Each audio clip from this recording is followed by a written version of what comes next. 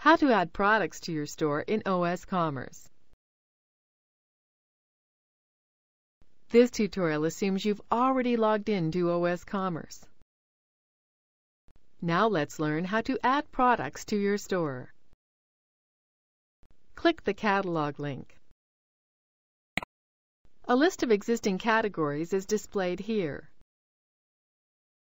Click New Product. Click here to show the calendar and choose an availability date. Enter a product name here. Enter the product price here. Scroll down. Enter a product description here.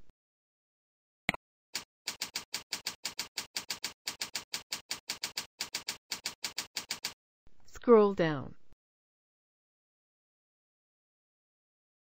The quantity of the product should be entered here.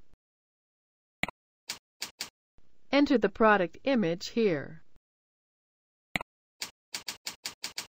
Click Preview. Scroll down. Click Insert. That's it. The product has been added and can be seen here. To add a product to a specific category, you would simply click a category first, then click to add a product.